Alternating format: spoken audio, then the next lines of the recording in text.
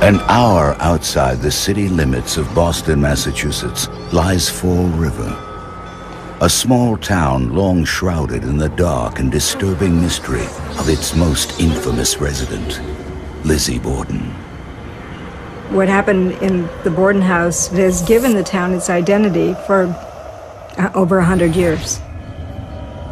The legend goes, on a quiet summer's day, more than 100 years ago, a spinster Sunday school teacher named Lizzie Borden hacked her parents to death with an axe.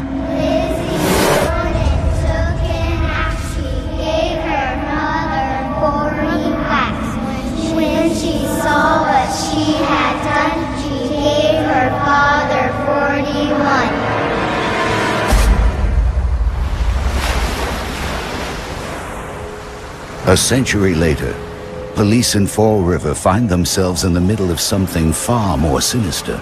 A crime spree so diabolical, some townspeople still refer to it as the devil's work.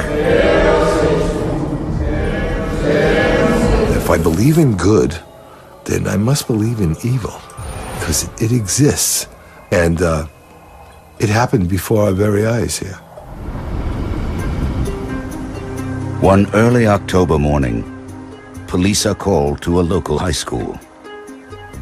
We had beepers then. We didn't have cell phones. Uh, it seems like the dark ages. But uh, my, my beeper went off at uh, 5.30 in the morning. A couple of women jogging on the track had stumbled upon the body of a young woman lying in a pool of blood under the bleachers. Every homicide is unique. Every homicide is totally different, but this stuck out as one of the most vicious that I have had ever seen. The victim is nude from the waist down. Her hands are bound with rope. She was positioned face down, looked like her hands were uh, clasped in front of her. Her body is severely beaten. The face and head had been crushed. It's very personal to damage a face. And so more more likely it is about that person feeling it and sort of wiping them out, erasing them as people. Detectives quickly hone in on what they believe to be the murder weapon. Blood-splattered rocks nearby.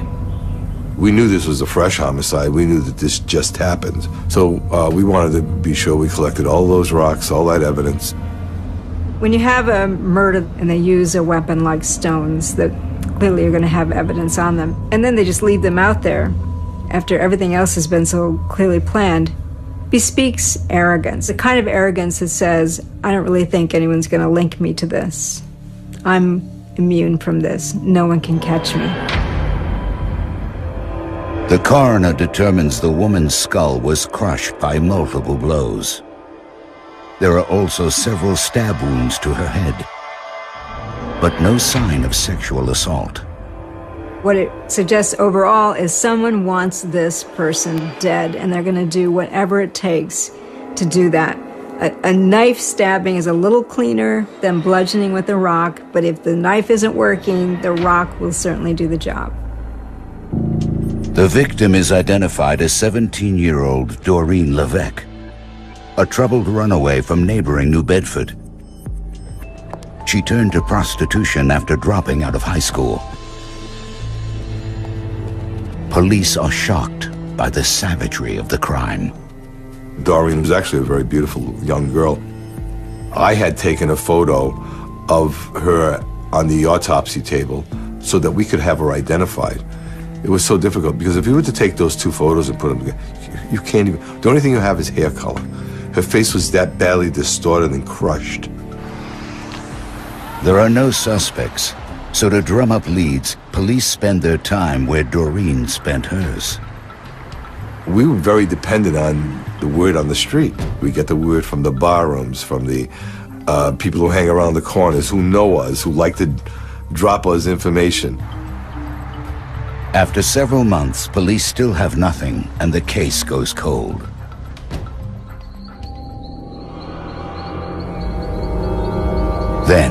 Three months after Doreen's mutilated body is found under the bleachers, the body of another young woman surfaces in a wooded area behind a local printing plant. and was found by a man walking his beagle. The dog actually started to eat the body. So he kept pulling his dog from there, and he saw some some material and clothing, and then realized that this discolored, frozen mass was actually a human being. The freezing winter temperatures of Massachusetts preserve the body. But the smell is still stifling. It's a distinct smell that I will never forget. I could be on the fourth floor of a building and know that there's a dead body there. But in this case, it, because it was frozen, I remember the thawing out of that body and the horrific smell. Like Doreen, the second victim is also partially nude. Her body is badly beaten, and her face is crushed. The place is loaded with stones. And she was laying on top of a huge stone, almost like an altar, when she was killed. Upon examination, the coroner finds no evidence of sexual assault. He does find small cement shards in her hair, leading authorities to believe that the weapon of choice was a concrete block. The victim is Barbara Raposa, a 19-year-old local prostitute who was reported missing three months earlier. Barbara had already been looked for. There was already word out on the street that Barbara was missing. She was last seen dining with her boyfriend. After the meal, the two headed home separately.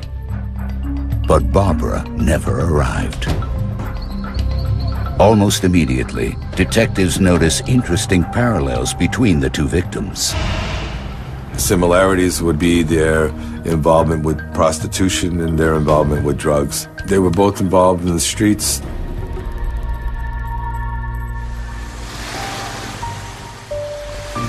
Once considered the textile capital of the world, Fall River became desperate and desolate with the demise of the industry. Now its streets are lined with cheap hookers. Young girls hoping a quick trick will score the cash needed for another fix. You, you could just snap your finger and then jump in the car for a quickie, 20 bucks. Yeah. They were out there. It was uh, back-to-back vehicles. There was cars everywhere. We did everything to control it, but there was an incredible number of, of women that would come in from Providence, Boston, uh, obviously New Bedford, and uh, they would work the street there. With two hookers dead, police suspect they may be dealing with a serial killer. That's something that comes across your mind. When you have one body, you're looking uh, immediately for another. Then you'll find another body. Adding to their suspicions, both crime scenes point to ritualistic homicide. A ritualistic homicide is a homicide committed to satisfy a psychological need so that it has to be committed in a certain way, either with certain tools or a certain pattern or posing or scripting. Almost overnight, rumors erupt that the women's deaths are connected to a satanic cult that is practicing rites in the woods at Freetown State Park, just outside of town. Once that started to hit the newspapers, they said, well, you know, we got a history of it. We got the Salem witch burnings, we got Lizzie Borden. It just mushroomed. We had heard lots already about Freetown State Forest and having black masses and ritual services taking place there. I didn't give it a lot of credence, but we didn't shrug it off. Detectives are about to discover the unlikely mastermind behind these murders. But are they too late to save the next victim? We had to find out who these murderers were. And unfortunately, one homicide led to the next. Now, there was serious concern. Is there going to be another body?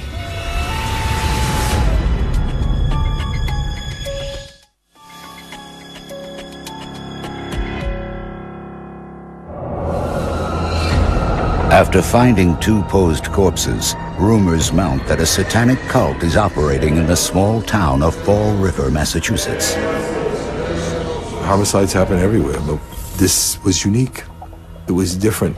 It was different that we had all of these elements. I call it a perfect storm, you know, where you now add the element of, of Satan, good, and evil. Initially, police have no way to confirm these rumors. But within days of finding Barbara Raposa's body, they get a break. A man named Andre Maltais comes forward with a shocking claim. He and Barbara are both part of a core group of about 10 people in the sex industry who worship Satan. Satanism is about sexuality, it's about greed, it's about gluttony. I mean, anything that you feel driven to do is allowed because you don't have all the biblical rules and regulations laid on you. If you feel a primal instinct, act on it, act on it now, just do whatever you want to do. Police hear that the group is mostly made up of prostitutes, and one of its leaders is Carl Drew, a 25-year-old local pimp. They meet in rundown apartments and deserted spots in the woods to offer their allegiance to Satan and perform sex acts. It was a sexual thing. And they all played this into the devil worship. Sylvia and his partner start to pressure the group who grudgingly agree to let them into a member's apartment. What the detectives discover is both dark and disturbing. As we evolved in the investigation and started to see artwork on walls of Satan and uh, devil tattoos on individuals, it started to become more of a serious concern. On one impromptu visit, the two detectives witness a ceremony. There were several people there. It didn't last long, and it didn't last long because of our presence, but there was chanting for Satan, Hail Satan, which gave a chill in my body. I'll never forget it. I believe there were a few of them that did wholeheartedly believe that they were calling Satan, and Satan knew what they were doing. I believe that totally. Afterwards, detectives take the opportunity to casually question several members of the group about the slayings. They knew who we were, but they wanted to talk to us because they didn't want to be implicated in any homicide. They didn't want to be accessories to. Some of these people figured keeping your enemies close is better than not having them there at all. One of those questioned is Karen Marsden, a local prostitute. Karen denies knowing anything about the murders. There's nothing more tight-lipped than a prostitute. She doesn't want people to know that she's talking to police. They're also very street smart. And the street smart side of them says, police officer has a question to ask me. I'm going to give him information. I'm going to help him because if I get trouble, if I get locked up, maybe that'll help me. Detectives believe Karen knows more than she is letting on. They decide to focus on establishing a relationship with her. Little by little, she opens up. Karen tells police the group is controlled by Carl Drew, who calls himself the son of Satan. She takes them to a site deep in the woods where, she says, the rituals occur. She wanted to take me to this place. Carl had taken her there, where he said he had killed people and, and put people in the water, Satan's water, the green water. It was a high algae pond, but she believed that that was Satan's green water. She was definitely intimidated by Satan and the devil, and that this location was the place that you would go if Drew decided to harm you. You were going to go there uh, to meet the devil. There, police find plenty of evidence to substantiate Karen's story. There was pentagrams drawn, there was makeshift altars where there were black masses held. If you have altars in the woods, probably you're killing animals on them. The pentagram, especially if it's within a circle, is usually about standing within the protection of that symbol in order to summon forth the demon, the various demons by name, but still protect yourself in case things get out of control. Police hear rumors that Carl Drew and small groups go into the woods to get high, have sex, and worship their master. More importantly, Drew uses the ceremonies to control his followers. They were using that location uh, for black mass or ritualistic ceremonies in order to place fear in, in uh, individuals that they were dealing with. They were controlling the girls in the street. And by doing so, they scared the hell out of them.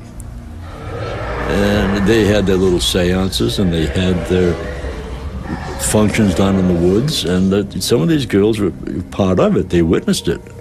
And they knew what was going to happen.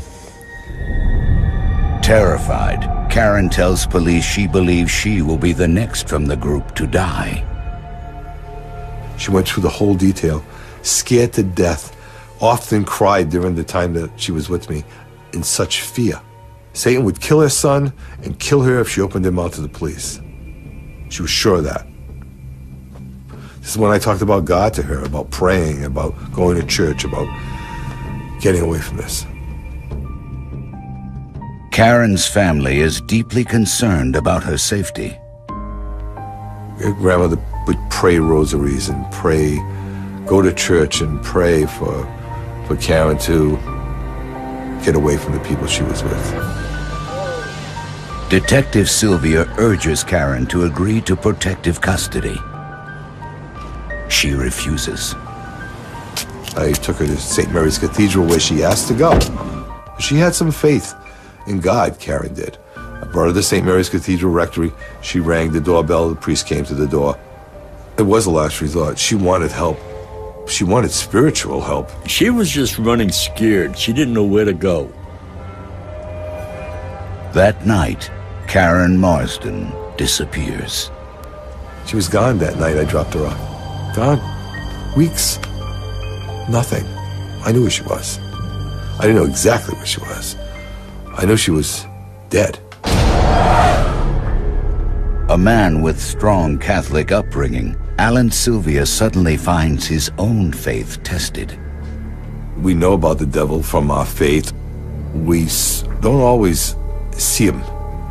In this case, I saw him. I could see him in these in the in the crimes that were committed. People who believe strongly in spiritual forces and spiritual warfare, that there are angels and demons and God and the devil uh, using us sort of as their battleground, would see a case like this um, and be probably quite frightened.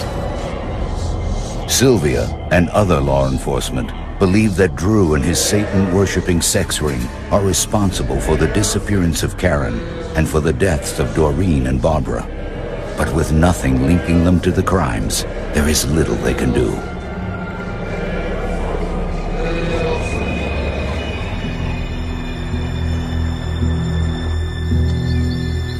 Two months after Karen Marsden vanishes, a man finds her toothless skull in the woods of nearby Westport. We found bits of hair and teeth and pieces of jewelry are scattered over a, a two-mile radius where she was dragged. Her body is nowhere to be found.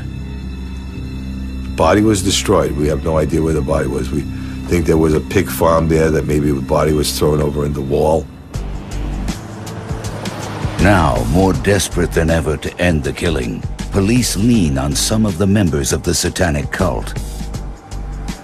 Afraid that if they don't help, they themselves will become suspects, the members agree to let the detectives listen in on their calls. To keep them compliant, authorities give them some party supplies. We buy them beer. We bring them marijuana. Let them do their thing. As long as we're present, as long as we can find out what's going on, as long as we find out who our murderer is. Within days, police overhear an incoming call that dramatically changes their investigation and reveals the group's true ringleader. He said clearly, I killed Karen, and they'll never figure it out because I took my clothes off.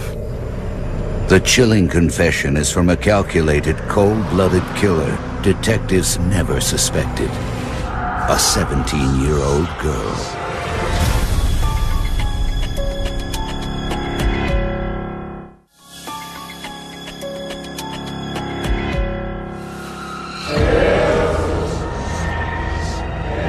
Police in Fall River, Massachusetts suspect a devil-worshipping prostitution ring is at the center of three grisly murders. They are stunned to hear that the mastermind of the cult is not the town pimp Carl Drew, but a 17-year-old girl named Robin Murphy. If there's ever any definition of evil, it's Robin Murphy. You can see evil just by looking at her. Murphy's been involved in the city's sex industry since her early teens. She no longer works the streets. She controls them. Robin was the greatest intimidator that I had ever met, and the most vicious. Robin was feared more than anyone I have ever met throughout my police background by the people that she was involved with. They feared her the, the Satan was just an add-on, just gave her ultimate control. After a six-month investigation, authorities finally get a break. They overhear a damning phone call, one in which Robin Murphy actually confesses to another cult member that she killed Karen Marsden in cold blood. She goes on to boldly state that no one would ever figure it out because she took her clothes off so there would be no evidence tying her to the scene. Police arrest Murphy and Carl Drew. They learned that the two ran the group together using the fear of Satan to control their minions. Robin could control people. Carl Drew could control people. Carl Drew controlled people because they thought that he was the son of Satan. And Satan told him to do it. And if you didn't do it, you were going to be taken care of. You were going to be punished. They used hatred and violence to intimidate and control people. Evil played an active role in those homicides and deaths of those people. The murders were part of a plan to rule the streets. Investigators think Doreen Levesque was killed because she was an outsider infringing on their territory. Robin and Carl did everything to stop her from working the street. They weren't making money when a freelancer would come from New Bedford, as Doreen did, and work the street. She was warned not to come. It's believed Barbara Raposa was killed because she knew too much about Robin's involvement in Doreen's murder and wouldn't remain silent for long. Robin would have wiped out anyone who got in the way or anyone who talked about her or anyone who talked to the police about her involvement. Law enforcement believed Karen Marsden witnessed Doreen's murder and was considered by Robin to be a weak link. This sealed her fate. Karen was the one who cracked. Karen is the one who couldn't take the daily pressure of life as a result of what she saw that day. Authorities have little doubt the killings would have continued had Murphy and Drew not been caught. I spoke to him in prison, and I looked him right in the eye and I said, Did you kill Karen Marsden? And he looked right back at me as cold as ice and he said, No. and you could tell, I mean, you couldn't believe this guy. You, you know that he was a liar. And I, I'm convinced that he was with Robin Murphy when they killed Doreen Levesque. And I'm convinced that Robin Murphy was there when Barbara Raposa was murdered. Robin Murphy agreed to plead guilty to second-degree murder in the death of Karen Marsden. In exchange, she would receive immunity in other cases and testify against Carl Drew. Murphy tells investigators that Drew ordered Karen killed. It was only hours after Detective Sylvia dropped her off at St. Mary's Cathedral that she died. Did she know she was going to be murdered that night? She had an ice cold skin. She was in total fear of Robin and Satan. Total, her, her complete body was consumed with fear. They raped her, they beat her. Carl Drew got behind Karen Marsden, pulled her by the hair over his knee, and cut her head off. I mean, if this isn't sick, nothing is. To this day, Detective Sylvia has never been able to shake her senseless death. It's always affected me. I mean, it affects me now. Years later, I still think of what could I have done to save that person? You know, what could I have done to encourage her more to get into a place where we could give her the protection that she needed. Murphy also indicates to police that Drew killed Doreen Levesque. But after interviewing other members, Sylvia believes that Murphy had a much greater role in the killings. Robin had them all involved. Robin told them, everyone pick up a rock. Hit her. Now you're all murderers. You're all murderers, so anyone opens their mouth, you're going down just like me. Andre Maltais, the man who first tipped police about Barbara Raposa's involvement in the sex industry, was ultimately convicted of her murder. He died behind bars. Carl Drew was only convicted of the murder of Karen Marsden and is serving life in prison. To this day, he maintains his innocence. Murphy was given a life sentence for her role in the Marsden murder, but she was paroled in 2004. She deserves much more than the 15 years that she did. Carl's doing a life. Um, she should be doing the same. She masterminded these homicides. My fear is that Robin will, will kill again. No one was ever prosecuted for the murder of Doreen Levesque. To do something like that, it has to be. It has to be evil. I mean, it's evil at work. Where does evil come from? The devil made him do it. The ringleaders in Fall River used satanic worship as a form of intimidation and to obscure their motives. Satanism gave them ways to punish other people and gave them a license to do it. And the veil of vampirism allowed John Crutchley to justify his sexual sadism. It's the vampire image that gives them a sense of, of the ability to pull it off and um, the idea they might get away with it. Hiding behind the occult was ultimately not enough to shield these predators from justice.